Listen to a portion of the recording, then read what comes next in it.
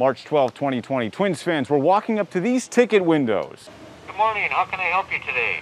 Only to be told that the Twins game that night had been canceled and the rest of the season put on pause. He sent us some good questions. Jerry Head remembers March 12th, 2020 very well. We were getting packed and ready to come to the game. The lifelong Minnesota Twins fan had tickets to the Twins game that night at Hammond Stadium, only to be told by a friend over the phone to turn around. We thought it can't be.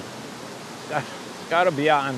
I guess I was depressed immediately because I'm a baseball fan and, and we had season tickets for for all the games. By the end of that infamous day, everything from spring training to college basketball at FGCU to the Everblades season, a shot they score, would be canceled.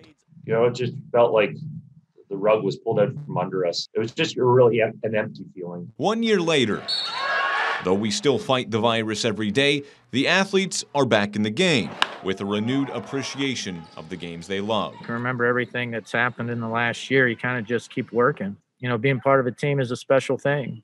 And you should appreciate the journey and the opportunity to get to compete. And fans like Jerry Head are back in the stands.